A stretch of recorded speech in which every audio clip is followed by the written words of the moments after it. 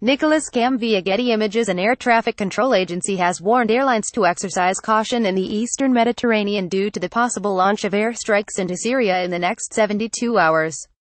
Eurocontrol said air-to-ground or cruise missiles could be used and there was a possibility of intermittent disruption of radio navigation equipment.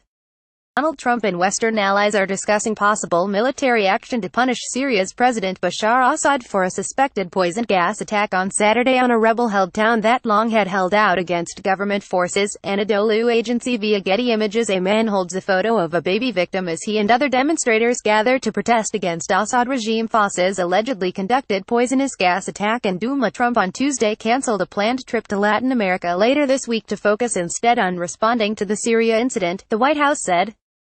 Trump had on Monday warned of a quick, forceful response once responsibility for the Syria attack was established. Russia's ambassador to Lebanon has said any U.S. missiles fired at Syria would be shot down and the launch sites targeted. If there is a strike by the Americans then, the missiles will be downed and even the sources from which the missiles were fired. Alexander Zasypkin told Hezbollah's Al-Manar TV.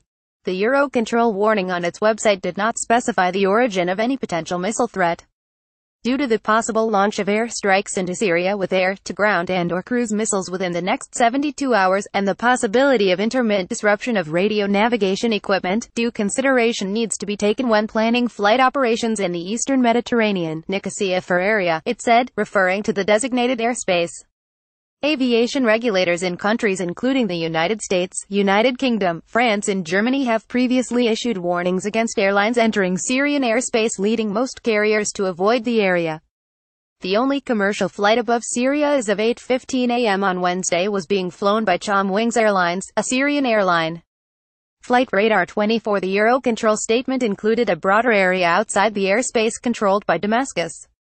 The Nicosia Flight Information Region named in the Eurocontrol statement on Tuesday covers the island of Cyprus and surrounding waters, according to a map on the agency's website. The same map did not designate any specific territory as being the Eastern Mediterranean region. There has been heightened awareness by regulators and airlines of the risks that conflict zones pose to commercial jets since Malaysia Airlines flight MH17 was downed by a surface-to-air missile over Ukraine in 2014, killing all 298 people on board.